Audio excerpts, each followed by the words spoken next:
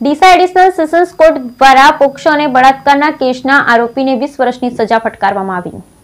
ગુજરાતમાં હવે અન્ય રાજ્યોની જેમ હત્યા સહિત બળાત્કારના કેસો વધી રહ્યા છે, જેમાં ગુનાહો આચર્યા બાદ આરોપીને સજા લાંબા સમયથી અથવા તો કોઈ કાર્યવાહી ન થતા બીજો ગુનો આચરવાની ફરી મોકો મળી જાય છે. જોકે ન્યાય પ્રણાલીને જીવંત રાખનાર અનેક લોકોનો વિશ્વાસ જેની સાથે બંધાયેલ એ જગ્યા એટલે કોર્ટ ત્યારે વર્ષ બે હજાર બાવીસમાં માત્ર અગિયાર વર્ષની બાળકી પર બળાત્કારની ઘટના બની હતી, જેમાં બળાત્કાર ગુજારનાર એવા મહેન્દ્ર પુંજાભાઈ માજીરાણા વિરુદ્ધ ધાનેરા પોલીસ સ્ટેશને ફરિયાદ નોંધાઈ, જે બાદ આખરે બે વર્ષ બાદ આજે ડીસા એડિશનલ સેશન્સ કોર્ટે ચુકાદો આપ્યો છે, જેમાં આરોપીને પોક્સો અને બળાત્કાર કેસમાં વીસ વર્ષની સખત કેદી સજા ફટકારવામાં આવી છે. આરોપીએ વર્ષ બે હજાર બાવીસમાં માત્ર અગિયાર વર્ષની બાળકી પર બળાત્કાર આચર્યો હતો, ત્યારે પીડિતાના સરકારી વકીલ એવા નીલમબેન બ્રહ્મભટ્ટ દ્વારા આરોપીને સખત સજા અપાવવા ધારદાર દલીલો કરી હતી અને સેશન્સ કોર્ટના જજ દ્વારા સરકારી વકીલોની ધારદાર દલીલો ગ્રાહ્ય આખરે આજે ડીસાના બીજા એડિશનલ સેશન્સ જજે દાખલારૂપ ચુકાદો આપ્યો છે. આમ નામદાર કોર્ટ હાલમાં વધતા જતા બાળા સાથે અધપતન કહી શકાય તેવા સગીર વયની દીકરીઓ પર થતા અત્યાચારના કેસમાં સમાજમાં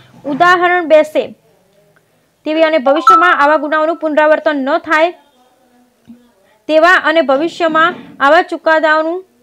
ગુનાઓનું પુનરાવર્તન ન થાય તેવો મહત્વનો ચુકાદો આપ્યો છે. સાથે આરોપીનું વધુ દસ હજારનો દંડ ફટકાર્યો છે અને દંડ ના ભરે તો વધુ એક વર્ષની સજા કરવાનો હુકમ કરવામાં આવ્યો છે. ભોગ બનનારના નિયમો અનુસાર દસ લાખ દસ લાખ પાંચ હજાર ચૂકવવાનો પણ સેશન્સ કોર્ટ દ્વારા હુકમ કરવામાં આવ્યો હતો. બ્યુરો રિપોર્ટ ભરત ઠક્કડી બનાસકાંઠા